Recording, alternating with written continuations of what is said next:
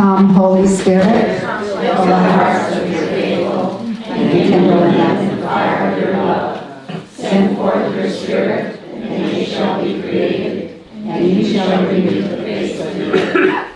O God, by the light of the Holy Spirit, did instruct the hearts of the faithful, grant that by the same Holy Spirit we may be truly wise and ever rejoice in consolation. Through Christ our Lord. Amen. Hallelujah. Thank you, Jesus. Well, we're running, you know, this is going to be a quick seminar this morning. And um, I just want to welcome all of you here for the this seminar, like Father said, the first of its kind, and we're looking forward to do more and more in-depth seminar. Um, you know, the Holy Spirit is looking for people who are hungry for Him, especially in this day and age. You know, we sometimes wonder why it lay dormant, uh, actually the dormant, but underground, the movement of the Holy Spirit. But in this day and age, God needs us. He's stirring us up, right? He's stirring us up. He needs us. And so this seminar is on the gift of tongues, mainly because it's one of the most controversial and misunderstood gifts of the Holy Spirit, right? It's the one that has the most questions and the how-tos, and there's so much, sometimes people said it's dead, the church doesn't need it, it was only for the beginning of the church, and so there's a lot of mishmash on it, so that's why we wanted to to start this today. So this will not be an in-depth uh, teaching on the gift of tongues, but it's going to be focusing on actually um, as some of the charisms of the Holy Spirit, the one that's most controversial, and hopefully we'll have some insight in, into it. But in our day and time, we began to see the gift of tongues in, uh, in the Catholic Church in the mid 60s. The 67 is actually being the date that they said this was the date, you know, that they're um, they're quoting as the beginning. And um, and actually, we see that as an overflow of the Holy Father, Pope John 23rd's call for Vatican Council II, and he said, renew. He said this prayer to the Holy Spirit Renew your wonders in our day as a new Pentecost. And exactly what's happened. The Holy Spirit fell upon millions and millions of Catholics, and to this day, millions of Catholics have experienced this with their own Pentecost. And it's caused a great renewal in the church. Many of the, the people that first experienced that back in the 60s, 70s, 80s are still active in the church ministries. Many do Bible studies, evangelizations, uh, works of mercy, corporal works of mercy, spiritual works of mercy. It's just caused a great groundswelling of the move of the Holy Spirit in our time. And I guess we need it, right? Amen? Amen. We need it. So what we want to do before Deacon Dave talks is we're going to give a short introductory to what happened back there in the 60s that caused this renewal and revival uh, that's happening in the church today. So just be patient, look that way, and uh, we'll get that going for you.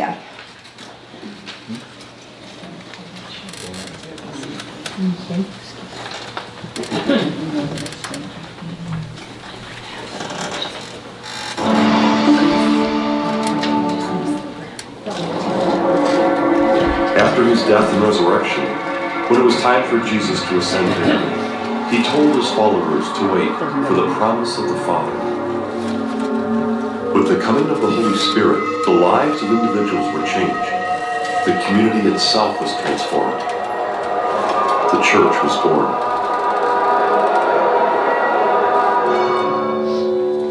The beginning of the Second Vatican Council, Pope John XXIII led the church in praying for a fresh outpouring of the Holy Spirit Renew your wonders in this our day, as by a new Pentecost. A few years later, seemingly as a result of John XXIII's prayer for renewal, a significant event took place that would forever change the lives of millions of Catholics and the Church itself. On a weekend retreat, these Catholic students prayed that in some way they too might discover a renewed sense of Pentecost in their lives. A prayer complete surrender to the Father, saying, Father, I place my life in your hands, and I desire to follow Jesus, your Son, whatever that means. It means to suffer, I accept that. Only teach me the love of his love. As I prayed that prayer kneeling, I found myself in the next few moments prostrate, overwhelmed with the sense of God's personal love for me. In the next hour, God sovereignly drew all the students at that retreat house up into the chapel where we knelt before Jesus. They prayed the Veni Creator Spiritus, the very same hymn sung by Pope Leo XIII on January 1st, 1901, asking for a fresh outpouring of the Holy Spirit upon the whole church.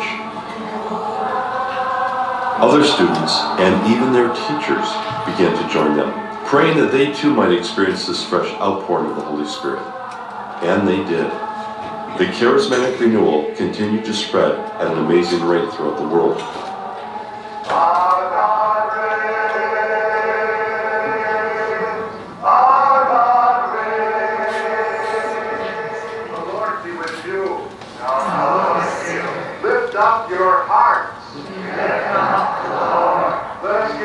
Those who prayed for the experience that came to be known as baptism in the Spirit had experiences similar to all the others a new depth of prayer, love for the Scriptures, a devotion to the Eucharist, a heart for evangelization, a call to conversion, and a life of holiness.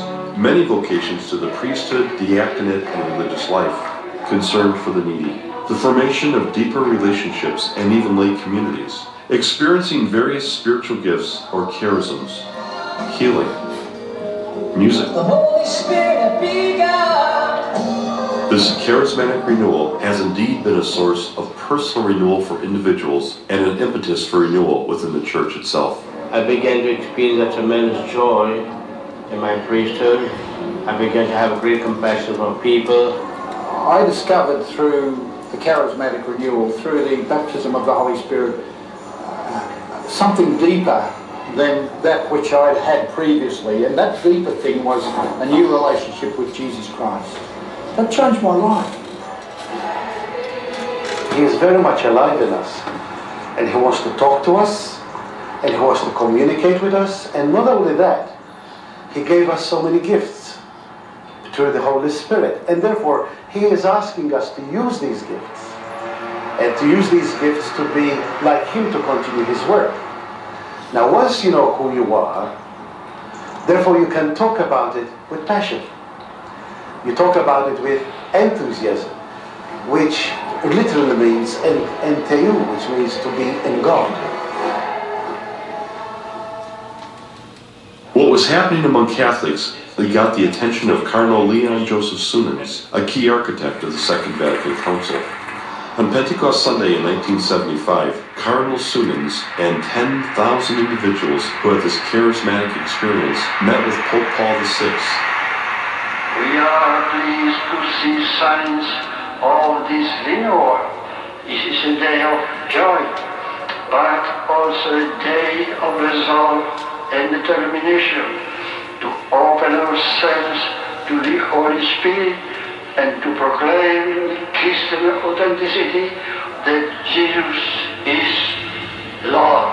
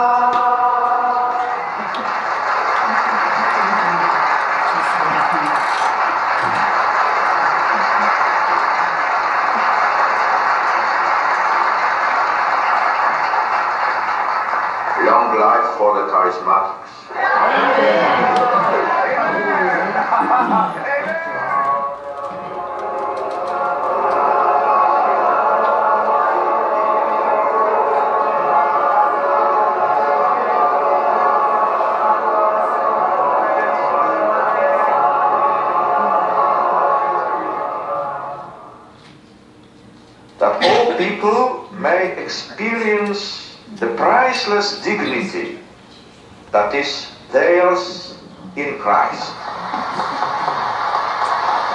I ask you and all the members of the charismatic renewal to continue to cry aloud to the world with me. Open the doors to the Redeemer.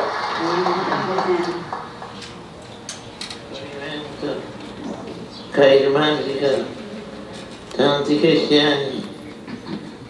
Thanks to the charismatic movement, many Christians, men and women, youth and adults have rediscovered Pentecost as a living and present reality in their daily life.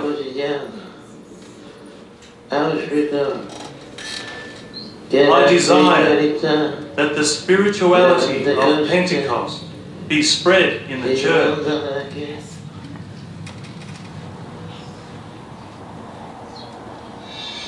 International Catholic Charismatic Renewal Services. ICCRS was approved by the Holy See as a private association of the faithful with a juridical personality. It operates under the direction of the Pontifical Council for the Laity. Its purpose is threefold. Promote the central goals of the Catholic Charismatic Renewal all over the world.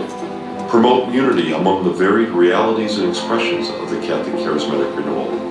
As to establish dialogue and cordial relationships with other ecclesial movements and communities within the Catholic Church and with other ecclesial communions and Christian churches. In 1998, ICCRS, with other lay movements, helped the Pontifical Council for the Laity organize an international gathering of lay movements. Over 300,000 people gathered. Today, I would like to cry out to all of you gathered here in St. Peter's Square and to all Christians. Open yourselves docilely to the gifts of the Spirit. Accept gratefully and obediently the charisms which the Spirit never ceases to bestow on us. Do not forget that every charism is given for the common good, that is, for the benefit of the whole church. Il secolo trascorso, costellato da tristi pagine Though the past century was marked by some of the saddest pages of history, it? Was at the same time studied with wonderful testimonies of spiritual and charismatic revival in all areas of human life and activity. It is my firm hope that the Holy Spirit will find more and more fruitful welcome in the hearts of believers so that the culture of Pentecost, so necessary in our time, can spread. Since 1967, over 120 million Catholics in over 220 countries in the world have experienced this refreshment of the Holy Spirit.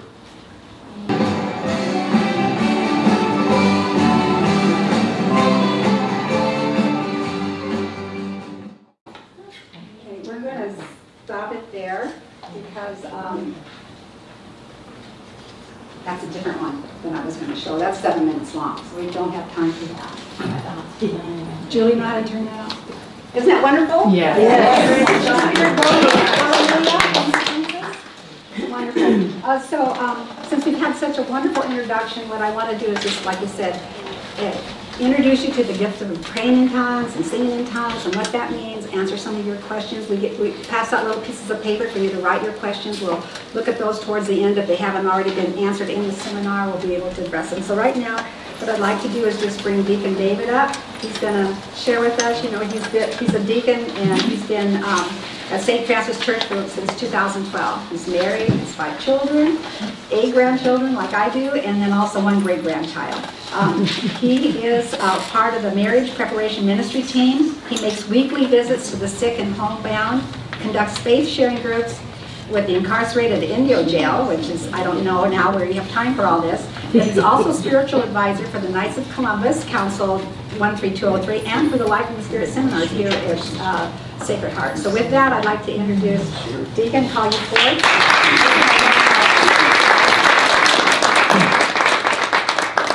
Thank you, Donna. Good morning. How are we doing? Good. I'm glad to see that we're God's chosen people, not God's frozen people.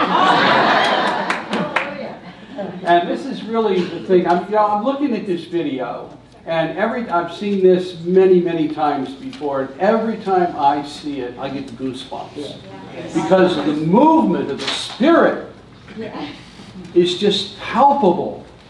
You cannot be in the presence of the power and not be moved. You just cannot be. So, what I'd like to do this morning is begin by sharing with you my journey on receiving the gift of tongues. At the turn of the century, and you all remember the turn of the century, right? The year 2000? When all the computers were going to crash and the world was going to come to an end? Well, we're still here. Anyway, I experienced a, a dryness of, of prayer during that time. And, and I became quite restless. If any of you have had a dryness in your prayer life, you know that feeling. It just, it just not settled. And so um, I saw an article in the newspaper about something called centering prayer. And it, it piqued my interest. So I sought out a centering prayer group. I found a very good, good group. And it really helped that dryness that I was experiencing. And I remained in that group until I moved to the desert in 2003. Unfortunately, I wasn't able to find a centering prayer group, and I know you have one here. But I didn't know about this when I first came to town. So um, I was continuing the centering prayer practice on my own. And one day, I noticed a, a flyer for a Life in the Spirit seminar. Okay, I thought, this may be a good substitute for my centering prayer group. So I attended a, uh, a seminar. And at that seminar, I was deeply moved by the Holy Spirit. And it seems that that is where the Spirit was leading me all along. So it was a step by step process. And toward the end of the day long gathering, the team leaders prayed over each of us for a baptism of the Spirit, after which they encouraged us to pray in tongues. Tongues? I had barely heard of tongues before this day, much less had an understanding of them. As the leaders and the participants began praying in what sounded to me like a real cacophony, I tried to join in, but it just wasn't happening. I felt ridiculous, you know? So, God is patient and God is kind. He didn't strike me dead. Instead, He waited and He waited and He waited. And as I mentioned, I was deeply moved by the Spirit, and I attended several more Life in the Spirit seminars, even gave my personal testimony at one of them. And then one day I was invited to join the core team of the Life in the Spirit. Still, no tongues. About a year later, I was driving by myself thinking about a talk that I was going to give at an upcoming seminar. And without realizing at, at first, I began to babble like a baby. And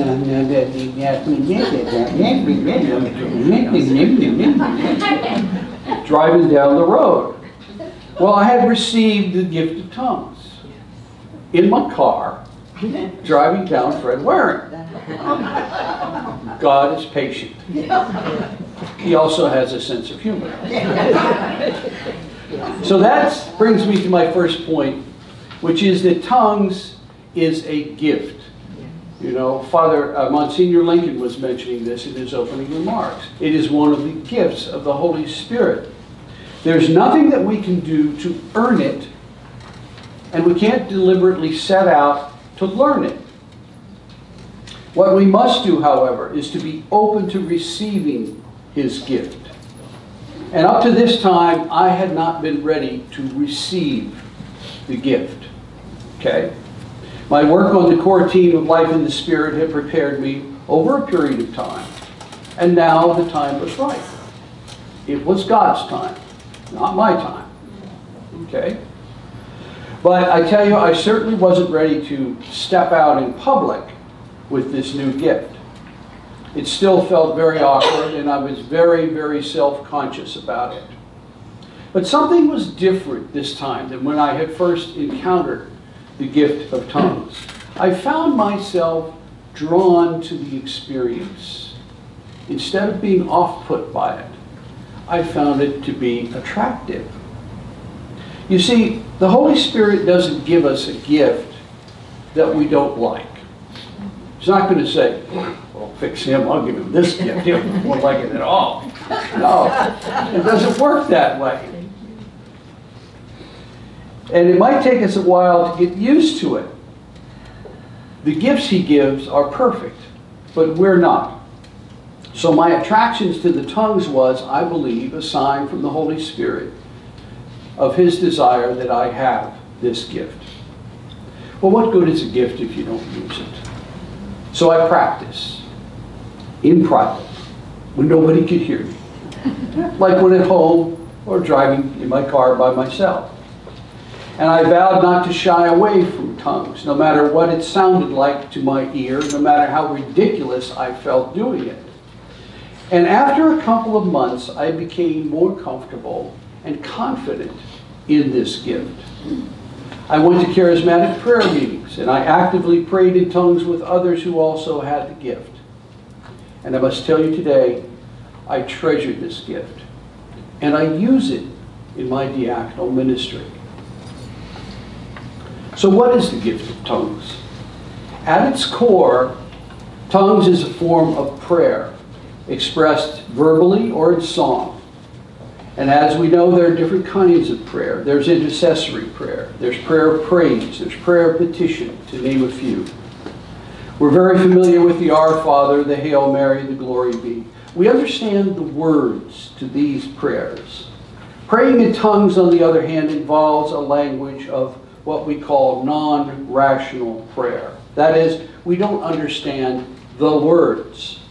Instead, we surrender our voice, our capacity to speak, our inner self, and our thoughts to the Spirit.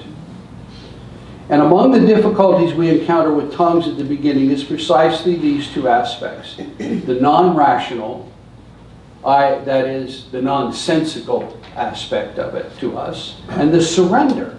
It's hard to let go, especially when it comes to speech, because we're so used to talking every day in our speech. We understand it, we control it, you know. And, and so it's hard to just surrender that and let the Holy Spirit take over that faculty within us. And I speak from personal experience. I think this, these are the things that hung me up for the better part of a year. St. Paul addressed this very point in Romans chapter 8, verses 26 and 27. The Spirit comes to the aid of our weakness, for we do not know how to pray as we ought. But the Spirit itself intercedes with inexpressible groanings.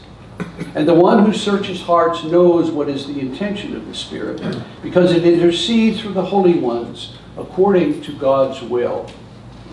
Inexpressible groanings, tongues, non rational prayer of the Spirit. How often have we run across a situation when we needed to pray, but we couldn't quite find the right words? We might say an Our Father or Hail Mary, but still had the feeling that we hadn't prayerfully addressed the heart of the situation we were praying about. And I've experienced this on more than one occasion. And the answer is pray in tongues. Let the Spirit intercede for us. And the one who searches hearts, God, knows what is the intention of the Spirit.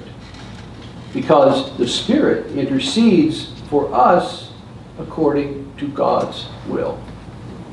So in tongues, it becomes not us, but the Spirit who's praying through us. Because we have surrendered ourselves to the action of the Spirit. Prayer is conversation with God, which means both speaking and listening. And so it is with tongues. Traditionally, there are two modes or usages of tongues. To pray in tongues, whether it be verbally or in song, we are speaking to God. And speaking in tongues, God is speaking to us. So in the first case, the action is upward. We are praying to God. In the second case, the action is downward. God is speaking to us. Now, my remarks so far have focused on praying in tongues. And once we receive this gift, we can exercise it at will.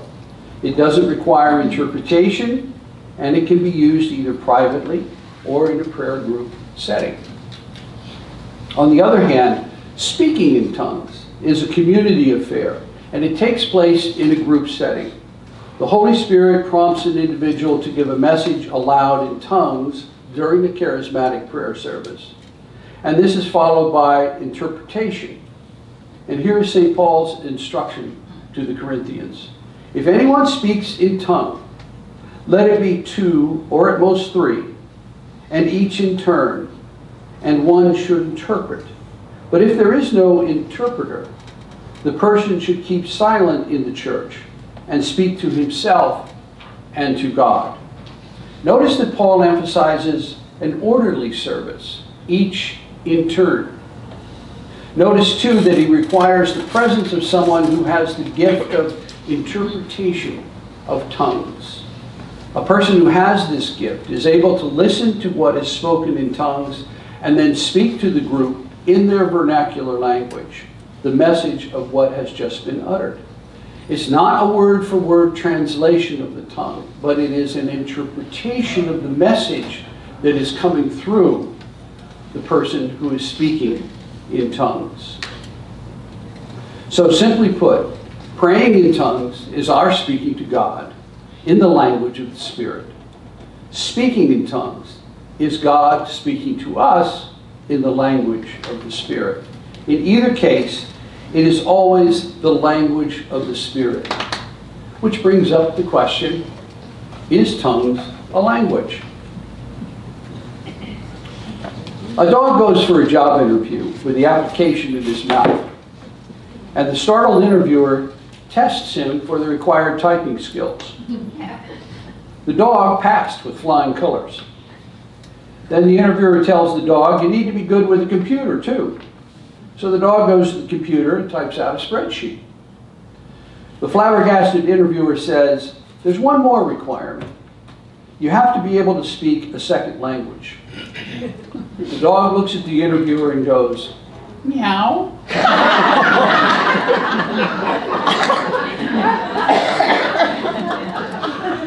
there are approximately 5,000 known languages in the world. With the gift of tongues, the Holy Spirit uses our natural ability to speak as a means of glorifying God. The person uttering in tongues has no knowledge of the language being spoken and instead raises his or her mind to God. It's analogous to when we say the rosary. When we say the rosary, we focus on the mysteries of the rosary. And if we're focused on those mysteries, the individual prayers, the Our Father, the Hail Marys, the Glory Bees, sort of move to the background. We're saying them, we know we're saying them, but our mind is focused on the mystery. And so it is with tongues. We surrender our faculties to the Spirit. So our mind is focusing on the Spirit and where the Spirit is leading us in prayer. And the actual sounds that are coming out of our mouth are secondary. They're into the background of that. That's what happens in tongues, whether you're praying in tongues or speaking in tongues. And I will say, let me make it very clear, speaking in tongues is not for everyone. It's not a gift that's given to everyone. But praying in tongues, anybody can have this gift. The Spirit wants all of us to have this gift. Okay? Because it's a gift that builds up our holiness, and as we're using it and we're praying in tongues, that others see that and it builds up their holiness as well. The Spirit tailors the gift of tongues to each individual. To some, He can give several languages and they can switch back and forth seamlessly. To others, He gives only one language. He knows us better than we know ourselves. And this is why it's wise not to compare one person's gift to another person's gift. The way I pray in tongues is not the way you pray in tongues. It's not the way you pray in tongues. It's tailored to each one of us by the Spirit. Okay? Now, there are four levels of maturity in the gift of tongues. The first level is called the paralinguistic level. This is, if you will, the beginner level, the lowest form of tongues. It's the one I talked about a few minutes ago. The sounds uttered are simply repetitive babble, like baby talk. You know, those of you who have grandkids, little grandkids running around, you know what that sounds like. The second level is the linguistic level. So the, what happens at the second level is that the utterances take on diction, articulation, cadence, variety, fluency, and non-repetitiveness. And these are the hallmarks of a language, collectively known as syntax. If you'll think back to your days in grade school, syntax and diagramming sentences and the structure of all of this stuff. Is that my phone? It sounds like it's coming from back over there. Let me just see. I turned this thing off. No, Our phones are singing. I put this thing on privacy. It's right there. Yeah, there it is. All right. I like this ignore button. My apologies. I thought I had turned this thing off. Okay. Where was I? Okay, we were talking about the linguistic level and syntax. Um, the University of Michigan Linguistics Department conducted an experiment with a group of charismatics who had just received the gift of tongues. And the experiment was to record their utterances in a computer over a period of time. The computer was programmed to recognize syntax, the structure of language. And what they discovered was that at the beginning, there was no structure. Level one, baby talk, babble, okay? But after some weeks, the computer began to recognize syntax as the charismatics moved into level two. It could not translate the language, 5,000 known languages. It couldn't program the thing to, to translate that. But it could recognize that structure, that diction, articulation, cadence, etc. The signs of a structured, of a structured language. Okay? This is a normal progression in receiving the gift of tongues. And this was my experience because as I would practice praying in tongues over time, and usually about four to eight weeks is the period of time that, that this covers. You will find that your tongues, your prayer in tongues, begins to sound more structured. Okay?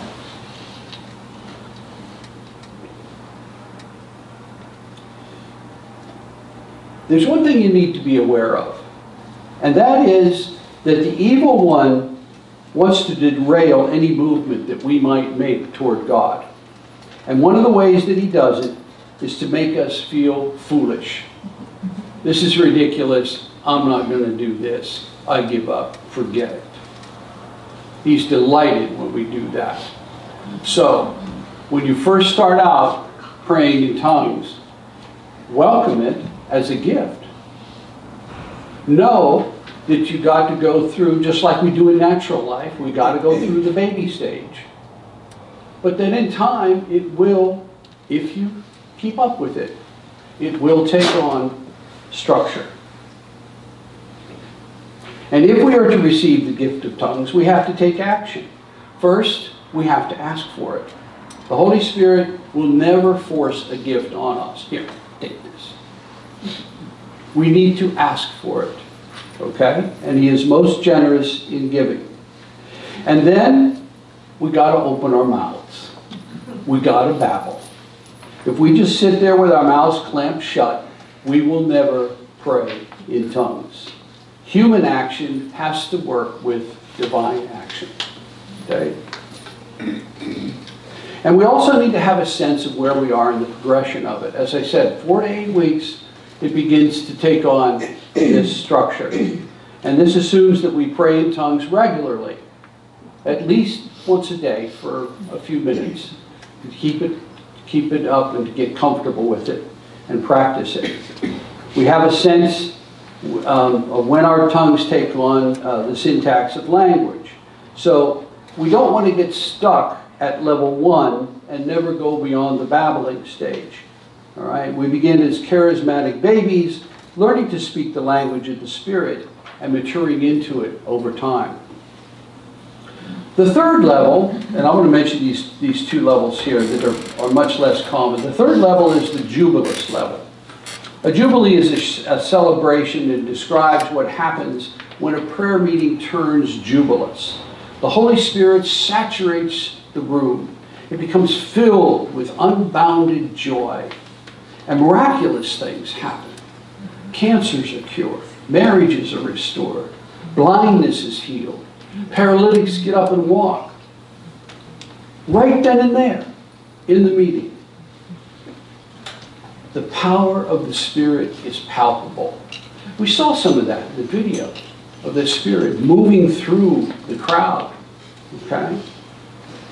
This level is a rare occurrence. Some who have been in the charismatic movement for years have witnessed it only a handful of times, if that often. Okay? Many have never witnessed it. I have never witnessed it personally myself.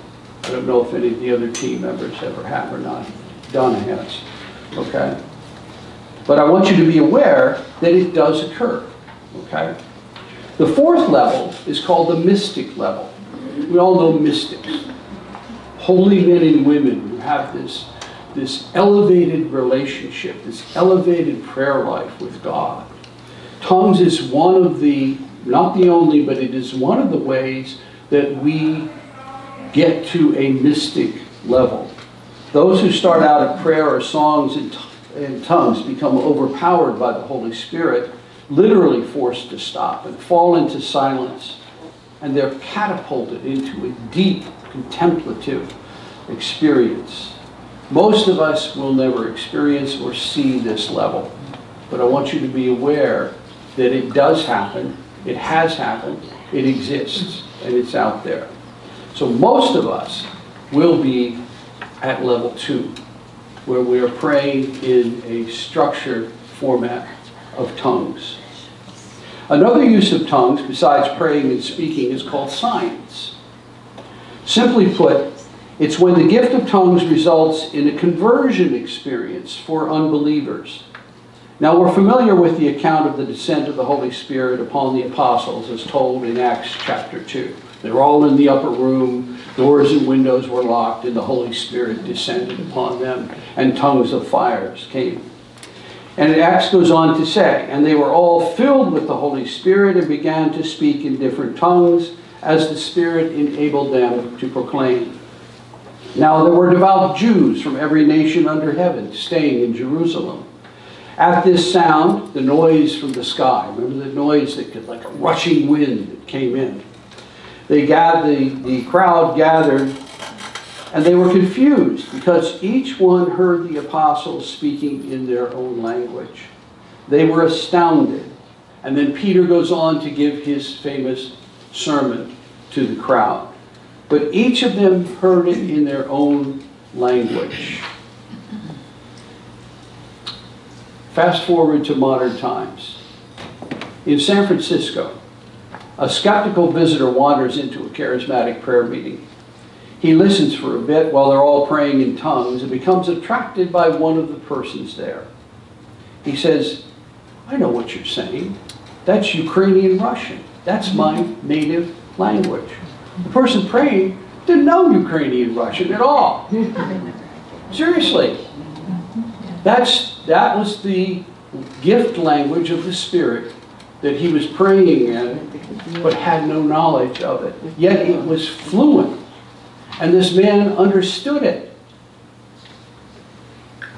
This caused his skeptic conversion. Okay? There were a group of charismatics on a pilgrimage in Israel. A lady who was fluent in English and Portuguese was praying in tongues as the group traveled by bus from one destination to another. Their Jewish guide walked down the aisle, stopped to listen to her for a moment, and then asked her, Do you know what language you're praying? She said, No, I only know English and Portuguese. The guy tells her, You're speaking a very rare dialect of Hebrew that is heard only in two little villages in Israel. And we're passing by one of them right now. She asked him if he'd like to convert, and he smiled and said, Jesus is my friend. Who knows if he converted later or not? Okay? But he definitely was impressed by that. One more story quickly. In New Jersey, a Japanese woman who was Buddhist and married to a Catholic man. So figure that one. she very reluctantly accompanied him to a charismatic prayer meeting one night. And she heard a person behind her speaking in Japanese, and she thought maybe it was a, a countryman that uh, was conversing with her. So she turned around and she, much to her surprise, found a middle-aged Anglo man praying in fluent Japanese. And as if that weren't enough, she was startled to hear this person utter her secret temple name, known only to her and to the monk who gave it to her in Osaka. She then heard in Japanese from this person praying personal things about her life and the Lord calling her. She converted. I know. It is unbelievable. The power of tongues. The power of tongues. These stories demonstrate that power. And remember, each case, the person praying in tongues had no idea of the language he or she was using. Faith is a gift from God. How we respond to faith determines our experience of God. We experience God through His work, through His Word, when we listen attentively and reflect on its meaning in our present life. We experience God in the Eucharist, when we unite ourselves with His body, blood, soul, and divinity. We experience God when we pray. And when we pray in tongues, we move beyond human thought and analysis, beyond human linguistics, to surrender to the action of the Holy Spirit. Imagine receiving communion, returning to your pew, and softly praying in tongues, an experience of praising the divine presence within you through the language of the Holy Spirit. The gift of tongues opens the door to receiving other charisms. Now, the word charism comes from the Greek meaning gift. To be charismatic means simply to be gifted. We use this term in our everyday lives, often in connection with the arts.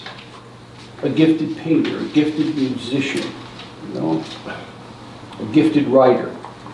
And indeed, the Holy Spirit can and does use these human traits, elevating them to an even higher level for the purpose of sanctifying the body of Christ. Our church has always been charismatic. Jesus was the epitome of charismatic, wouldn't you say?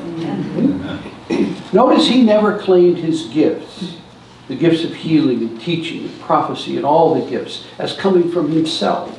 Instead, he always pointed to the Father and to the Spirit as the source. The charismatic dimension runs throughout the New Testament. And here's what the Catechism has to say in part about charisms. Whether extraordinary or simple and humble, charisms are graces of the Holy Spirit which directly or indirectly benefit the church, ordered as they are to her building up to the good of men and to the needs of the world.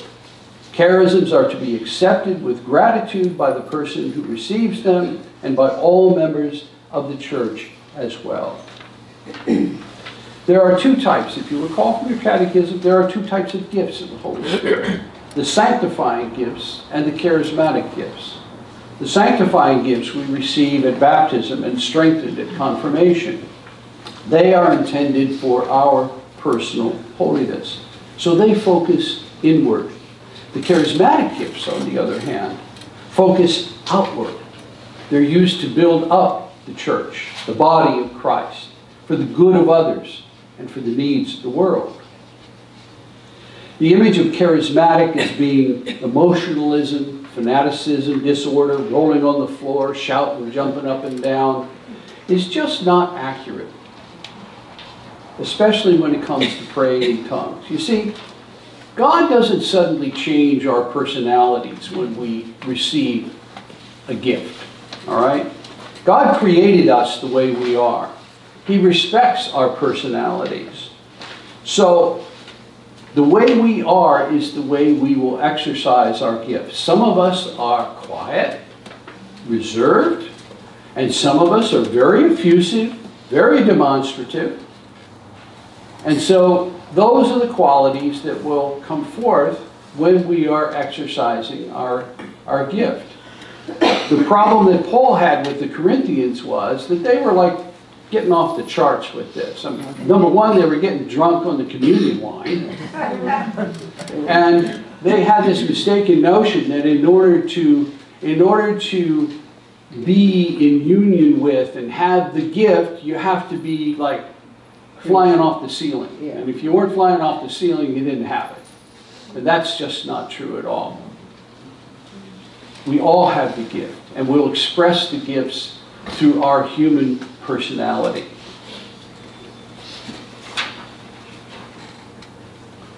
We saw from the videos today the Catholic Charismatic Renewal Program. It started in Pittsburgh in 1967. Quite an experience for those students. Very, very moving experience. Four popes, as we have seen, have endorsed the charismatic renewal. This is real. This is not something that is not Catholic. This is another objection that we hear about all the time. Well, this is just not part of the church. This isn't Catholic. It's very Catholic. Our church, is, as I said, has been charismatic from day one. Absolutely from day one.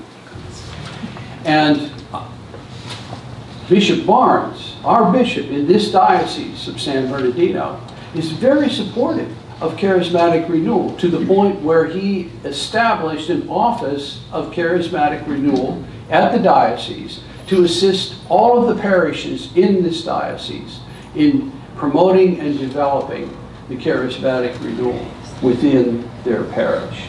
And if you'd like more information on the Catholic Charismatic Renewal Movement, Google it. There's a lot of information out there. Just the caveat is, as usual, when you're out on the internet, there's some good stuff, but there's some not so good stuff. So you have to be cognizant of that. But if you Google it, you're going, you can find out a lot, a lot more uh, information about it. About five years after the start of the Charismatic Renewal Movement, the Life in the Spirit seminars began. It, it was about 1972 that they started as an outgrowth of the movement.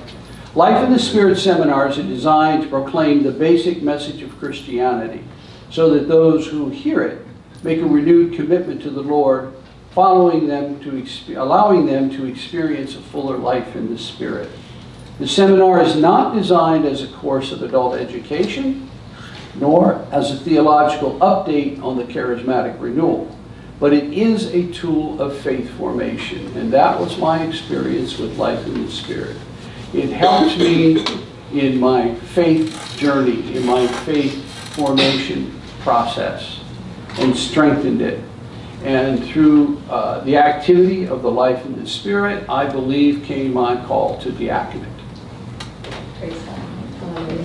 So I began this talk by telling you about my experience at Charismatic Renewal through the Life in the Spirit seminar and the impact it's had. So now I'd like our coordinator of Life in the Spirit seminars here at Sacred Heart, Donna Ostrander, to say a few more words about this important ministry. And I thank you for your teaching.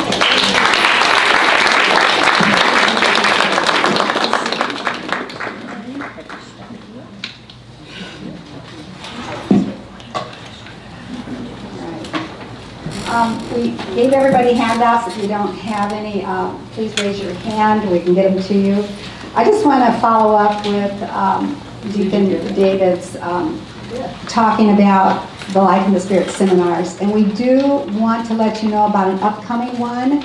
It's Saturday, June 29th. It will be over in McNellis Hall, and uh, Deacon Steve Greco is coming for the day. I don't know how many here know Deacon Steve Greco. Um, Deacon uh, Dave has, has worked with him. Um, they both have spoken at Magnificat. They're both um, God is using in a powerful way with, as instruments of healing. And uh, so with that, we're just encouraging you to circle your calendars if you're still here in the desert, June 29th, 8.30 to 4 o'clock. Also to remind you that um, we're also having a mass, a, a, mass and healing service this Wednesday night with Father um, Pat Crowley. So it's going to be a um, praise and worship starting at 6.30 and the mass at 7. So we encourage you to do that. And I think there's a 5.30 mass to 6.30, so it's going to be a quick shift. What we have handed out to you all is some uh, handouts. Of course, we sang, we said the prayer. Uh, there's a list from Father Hampsch, all the different charismatic gifts is listed in Scripture. We don't have time today to go through all that. Also, an article on the gift of tongues. It's really important to read that. There's a personal testimony in there from a, a college seminarian and um, a four-page personal testimony. So we want you to read that. And there's also another article speaking in tongues, a very good one. And it also has this man's experience of not receiving the gift, much like David said, uh, Deacon David, but then gradually did um, come to uh, experience that gift. So um, I was baptized in the Spirit in 1975.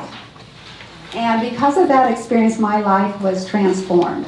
And I'm not going to go into the actual experience of the baptism of the Holy Spirit, but it was a very powerful experience that I had not spoken in tongues at the time, like David. What happened to me is when I went to a prayer group, uh, someone invited me to go to this uh, conference with about 500 women. And it was along the Potomac in Virginia, near Washington, D.C. It was the most beautiful restaurant, beautiful setting, and everybody began to sing and praise God in their tongue, their own individual tongue. So the whole group was praising the Lord. And I was sitting there listening to it, and I said, Oh, it sounds like angels. It was so angelic. And they were singing in tongues. So there was a harmony, there was an up and a down, and then, you know, everybody was moving together as if there was an orchestra being led. And it was being led by the Holy Spirit. I said, Oh, that's so beautiful. And so I just sat there and enjoyed it. And so on the way home from that meeting, the lady asked me, she says, Would you like to have the gift of tongues? And I said, Yes.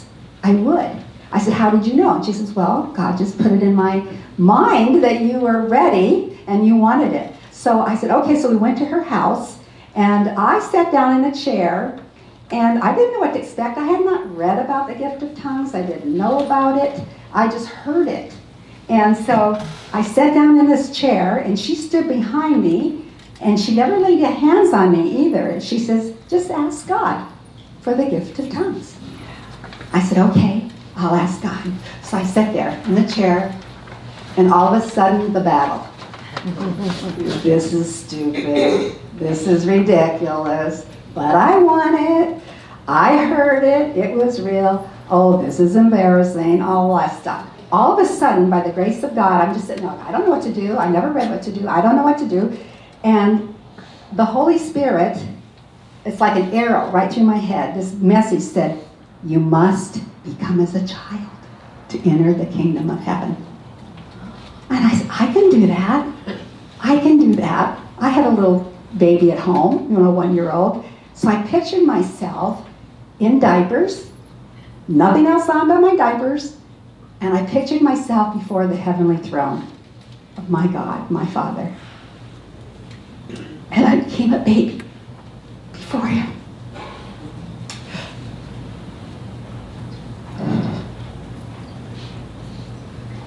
And I said, I'm just going to start to talk to God like a baby, babbling. And the first word that came to me, God helps us. He helps us in our weakness. We don't know what to do, right? I didn't know what to do. All of a sudden, I'm just going to say, Abba. Abba, Abba. That's what I thought. I would just say, Abba. I didn't know that Abba meant my very own father, my papa daddy. How many of you know that Abba? Jesus said, Abba, Father. I didn't know. I was new. I had just been baptized in spirit and I was devouring the scriptures and it was came alive to me, you know, love came to me. My husband says, What are you doing? You know, I want what you have. And I said, Just ask God to fill you with the Spirit. Just start reading the scriptures. So he started doing that. I had love for myself like I never had love before. I had love for God like I, ever since I was a little child, I wanted to know, love, and serve God. I remember at five years old, I had this message that I heard a, a mourning dove coo. And um, for some reason, I said, someday I'm going to know love and serve God. And. So anyway, um, so I said, Abba, Abba, Abba, Abba, Abba. Abba, Abba, Abba, Abba, Abba, Saba, Abba, Shabata, Abba, Tapatita, Papiti, Abba, Satatita, Bakapatita, Tatatata, Yamana, Yaman, Ya, Ya, Da, Da, Ba, Da. I'm sharing with you my prayer language. I'm not giving you a message in tongues like Deacon says. I hope you don't mind me sharing my language with you, my tongue. It's a prayer. And I just began.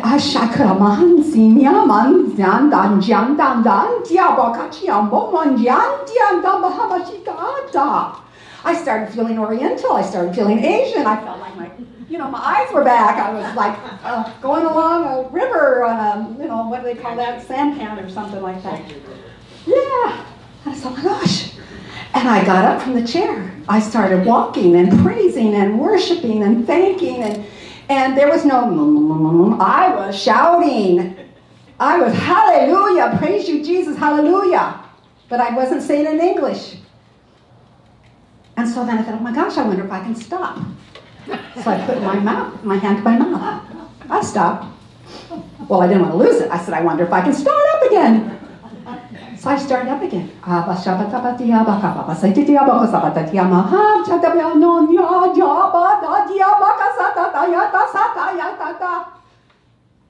Oh my gosh. So then I said, I gotta go home. I gotta go home. And uh, that was it. I went home. And ever since then, 1975, February 1975, I have prayed in tongues. And the beauty of it, like deacon was saying, it developed. Sometimes, and I use it as an intercessory prayer. I don't know how to pray. That's what the Holy Spirit, He prays in us. We don't. We need God today. Not our will, but His will, right? As Jesus in the agony of the garden, Lord, take this away from me, but not my will, but thine. So as I pray and intercede, I've experienced different languages. Some that sound very Hebrew, some that sound like American Indian, some that sound like the Oriental, some that sound uh, just like something I don't know. Because a lot of people call the gift of tongues a heavenly language. It could be of the angels. We don't know. Like in, in, in the alphabet, we have 26 letters, right? And we form words. Well, some of this might be so heavenly, maybe it doesn't have vowels. You know what I'm saying? So that was my experience of praying in tongues. So right away, I have to close up because we want to do uh, a few other things. But um, I went home and my uh, we were in a city where I didn't have a doctor, and my little boy had a had five children at that time. I was at three, but um, I, my son got the fever, and I didn't have a doctor. And I just laid my hands on him. For some reason, I just felt called to lay my hands on him. By then, I'd read in scriptures about healing and all the other gifts. And I laid my hands on him and I said, uh, Father, in the name of Jesus, please take this fever away from my son. Please heal him, whatever is causing this, this illness. And as I prayed for him, he just broke out in a sweat. It was completely gone. Yes. And I said, Lord, did I do what was right? Is that okay? And he nudged me to open the scriptures, and I opened the scriptures, and the Bible fell open to Mark chapters. Is it 16? These signs shall follow them that believe. They shall lay hands on the sick, and they shall recover, and they will speak in other languages. So I said, okay, thank you. Close the Bible. That's what we're called to do. We're called to heal. We're called to help. We're called to evangelize, and we're called to love God. God poured his love into my heart so strong. And that's what, you know, I spent the last next all the years of my life since then helping people come to know the Lord and to come to know the baptism of the Holy Spirit and the gift of tongues. So with that, Deacon, what do you think our next step is? I know you're reading the Well, I think what we should do now is we're going to have a little prayer. And what you, y'all can remain seated if you'd like. And um, we're going to begin with a renewal of our baptismal vows. Okay, and our response will be, I do. All right? Do you reject Satan so as to live in the freedom of God's children? I do. Do you reject Satan, father of sin and prince of darkness? I do. Do you believe in God, the Father Almighty, creator of heaven and earth? I do. Do you believe in Jesus Christ, his only Son, our Lord, who was born of the Virgin Mary, was crucified, died, was buried, rose from the dead, and is now seated at the right hand of the Father? I do. Do you believe in the Holy Spirit, the Holy Catholic Church, the communion of saints, the forgiveness of sins, the resurrection of the body, and life everlasting? I do. This is our faith. This is the faith of the church. And we are proud to profess it in Christ Jesus our Lord. Come, Holy Spirit, fill us with your grace and your charisms.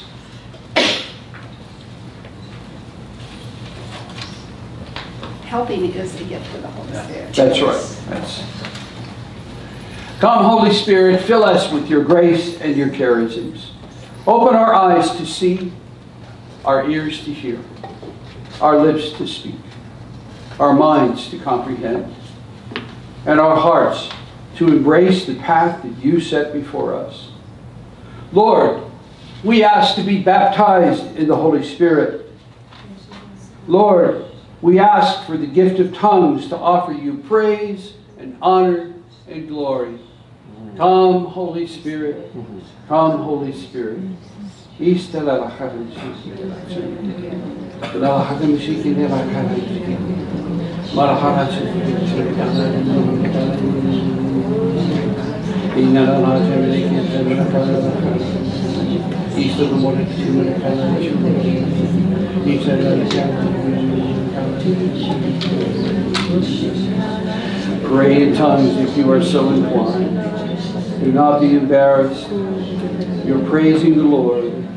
Praise you, Lord Jesus. Praise you. Have to give the Lord your voice. He doesn't without it. Give your voice. Hallelujah. Don't move with the intellect. Just let your heart. He says,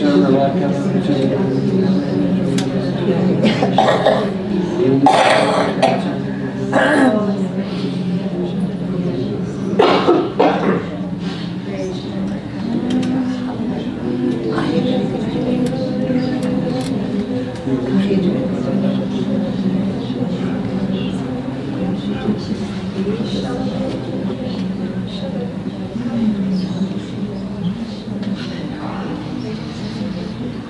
to you, Lord Jesus Christ, King of endless glory. Praise to you, Lord Jesus Christ, King of endless glory. Amen. Amen. What I want to do right now is just go over uh, a few little obstacles that I have encountered in, in the years of praying with people for the baptism of the Holy Spirit. And Father already mentioned one of the biggest ones is timing.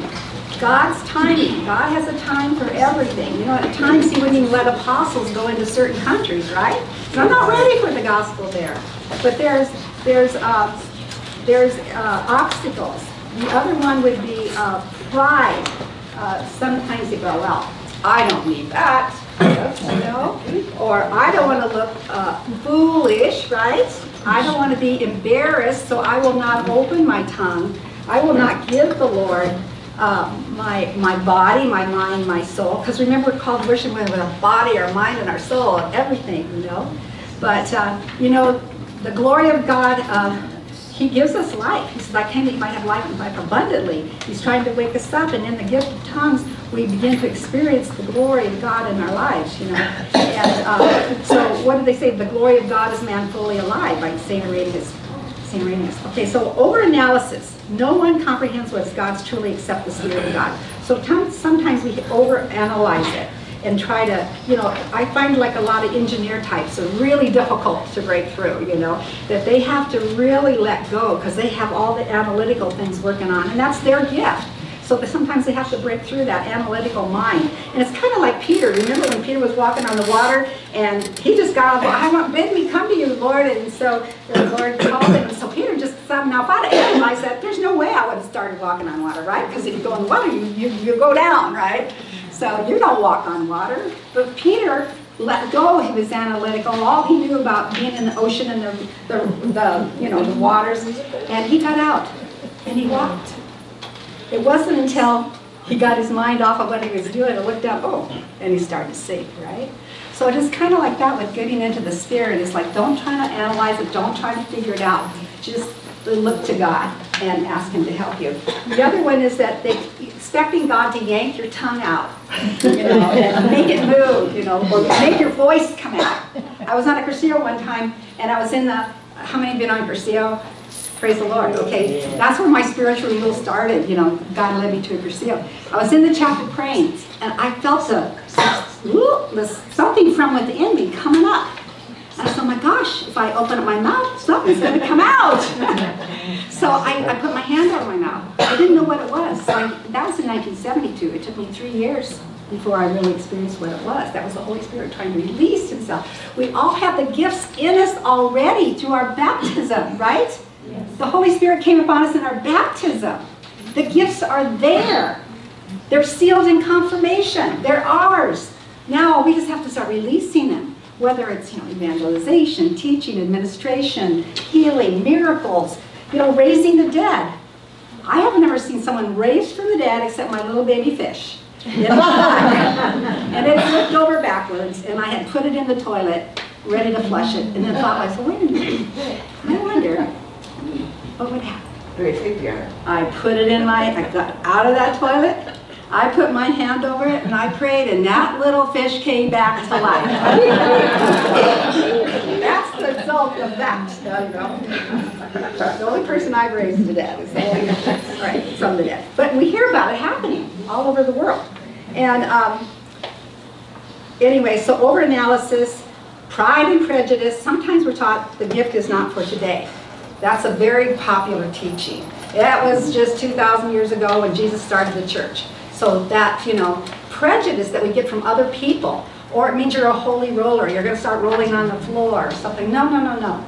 Thank God we have this gift in our church. We have the magisterium helping us work and move in the gifts of the Spirit properly. So if we have a problem, we go to the teaching church, and it's right there in the catechism. It's right there in our bishops. It's all of them guiding us.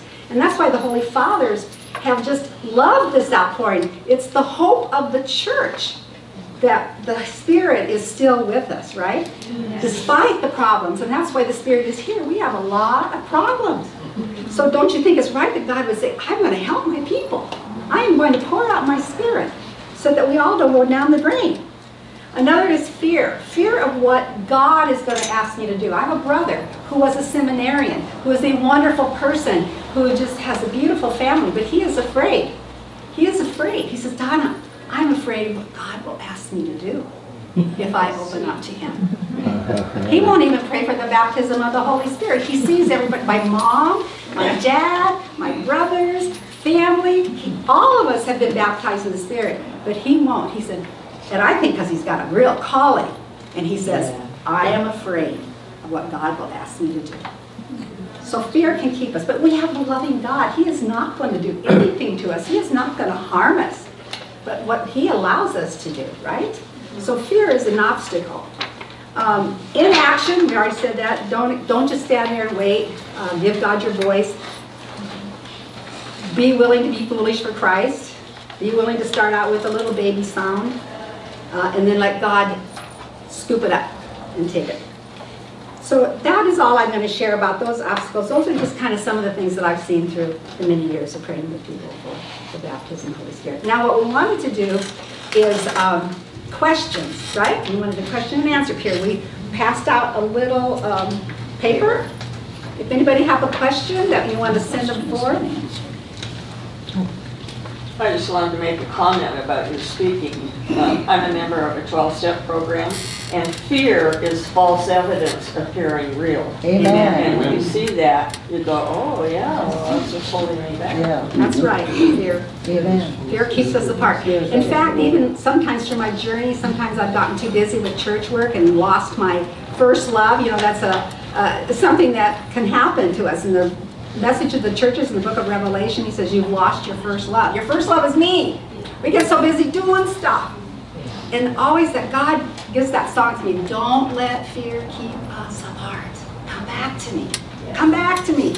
And that's when I call back to get back to sitting down and reading the scripture and just praising him in tongues. And, you know, all this other stuff will get done. But if we put God aside to start another meeting or to go someplace else, to go to another uh, symposium, and we're avoiding our relationship with God, someday, you know, he'll call us back. Any other, did anybody get questions? Or is it, there's a question probably. Anybody else have a question?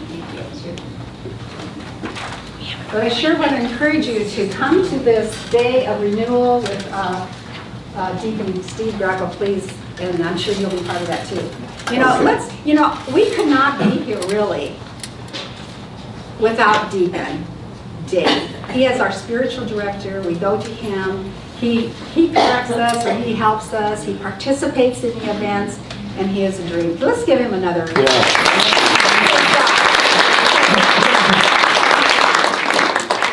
Okay, this question is for you, Donna. What did Donna experience with the Holy Spirit and healing? What did I experience? Mhm. Well, first of all, I was amazed. Isn't that a word they use in scripture when Jesus did things? They were all amazed. I was amazed. I came up and just laid hands on my little child. Lord, please take away this fear. And, and since then, many, many, many, many healings. Many healings. One day, just, uh, just a word on healing. I had rheumatoid arthritis. It was horrible. It was crippling. I was on crutches. I had everybody in the prayer groups praying for me and everything. So one day, uh, night, I was in a lot of pain, and I got up in the middle of the night and I said, Lord, thank you. Thank you for this pain. Otherwise, I'd be asleep right now. And as I thanked him, the Holy Spirit came upon me like, I would always think of like Tinkerbell, the little dust of Tinkerbell, just like that, gone. It's not even in my blood anymore, it's gone. So how Question in the back. Um, you I, a small testimony. I just want to say, you know, how did I get the, you know, the gift of tongues?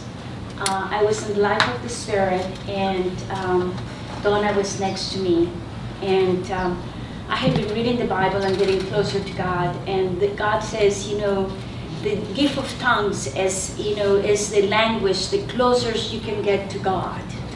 And when I read that, I thought, gosh, this is the closest I can get to God. That's awesome. So Donna was next to me and she says, would you like to have the gift of tongues?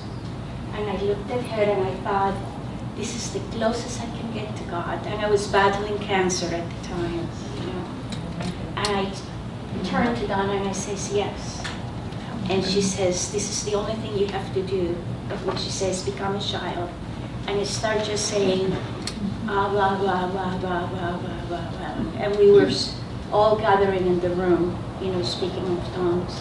And just, like, exactly what she says, demonstrate, just came out and I started speaking in tongues. And when I went home, you know, if I didn't make an accident, it was because, you know, the Spirit was with me, but I drove up and, and I just, you know, I just was overwhelmed because the gift has been given to me not knowing the God too much, so it felt special. It's not that I'm trying to convince everybody, it's just I wanted to reconfirm how I got my gift of tongues. It was Well, thank you, God. Jannette. Just praise God. Because I was hoping someone else would get And we can confirm her story in um, Madalene's prayer group. Yes. Okay. Because we prayed. Thank you. May, may I say something? It seems like the Lord wants me to share. Okay. And, and the reason I want to share this is because of what you said, Deacon Dave. I, I have been a charismatic person in the movement for a long time, through prayer group and all that. But I always felt I didn't need tongues. And everyone would pray over me and I would get really upset because I would say, why do they have to, you know? But one time I went to a Life in the Spirit, as a matter of fact, we were putting it on, and we had this priest visiting us, and he talked about how, you know, the gift of tongues. And he said, it's a gift that everyone can have if they want it. Right. It's just surrendering your tongue, the last part of you. And he told a story that really impressed me. He said he was in Canada giving a, a seminar, and he was praying over people in tongues. And there was this lady, she, apparently she was German, and she was sitting in the back, uh, like this. And he said every time he was praying, he would look over there and he would just pray tongues, you know. He continued praying. At the end of the, the, the meeting, she came up to me and said, him and said, I didn't know you speak German. He, she, he said, I don't. And she said, you said something to me in German that only God knows. so, and he said, well, maybe God wants you to know this is real. And of course, she, she prayed, they prayed over himself. and. The same thing happened to me that night. I thought, okay, Lord, I want this gift. I want it, Lord. I, I surrender to you. And he prayed over me, nothing happened. But I was driving home, and I opened my mouth, and all these sounds were coming out of it. And it scared me to death because it sounded like Italian and Chinese and Japanese. And I'm going, that doesn't sound like it, Lord. Anyway, the next, I said, if this is from you, Lord, I really want it. The next day I was alone at home, it was my day off, and I started praying, and I received the gift, and it was the best thing that has happened to me. It was like going to a psychiatrist, and God healed me Yes. of things I didn't even know that I needed healing of.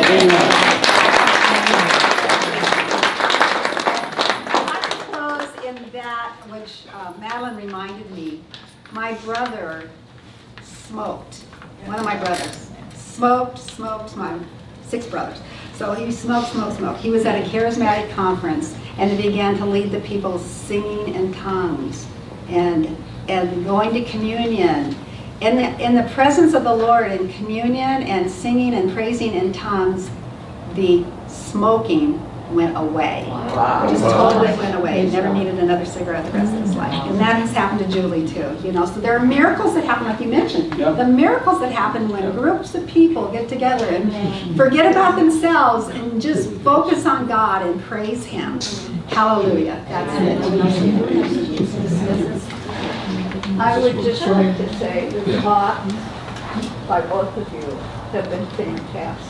And it's been a whole renewal for me. Thank you, Jesus. I've been in Thank it for years. I was baptized in the Holy Spirit in 1974. So I've been in it for years, renewal. But this has been a total renewal, just being here. I haven't been using the gift as much as I could be. And I think that's going to help me tremendously. Praise the Lord. That's what we pray for, that this would be a renewal for us. The Lord be with you. And with your spirit. May Almighty God bless you, the Father, the Son, and the Holy Spirit. Have a blessed day. Thank you for coming.